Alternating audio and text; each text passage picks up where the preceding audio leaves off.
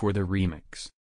Go Crazy, the lead single from the pair's joint Slime and B mixtape from May 2020, broke the record for the longest stay in the top 10 of Billboard's Rhythmic Airplay chart, after the song clocked a 32nd week in the tier on the list dated February 6.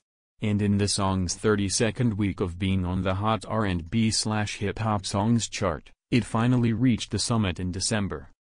Go Crazy became Brown's biggest radio hit since Forever in 2008 by reaching number one on the all-genre radio songs chart as well as his 50th top 10 hit on the R&B slash hip-hop airplay chart.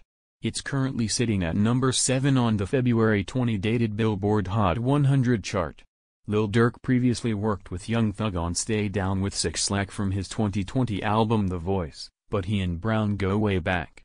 He tapped the R&B crooner and French Montana Forget That Money, the first single from his 2015 debut album Remember My Name. This SH hit different when you come from the trenches, the Chicago-based rapper wrote on Instagram while sharing the Go Crazy remix's artwork.